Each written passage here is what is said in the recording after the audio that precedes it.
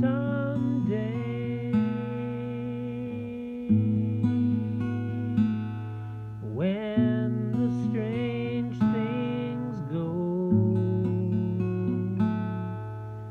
through our hearts and hands